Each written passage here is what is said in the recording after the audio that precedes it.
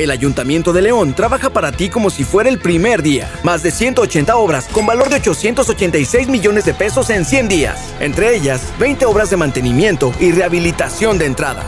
55 obras de pavimentación. Así concluimos, con cada vez más vías seguras. León, Gobierno Municipal.